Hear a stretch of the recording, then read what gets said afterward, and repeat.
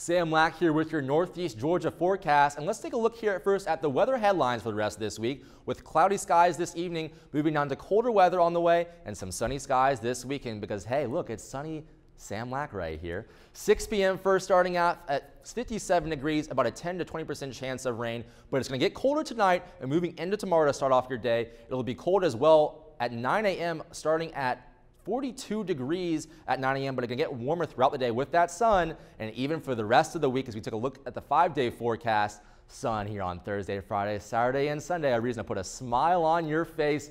Got to be happy about that. Mid 50s for your high, high 30s for your low for the rest of the weekend. But a reason to get outside and have some fun and bring that winter jacket. And man, I cannot wait to see what's in store for us here in Northeast Georgia. With your forecast here, I'm Sam Lack.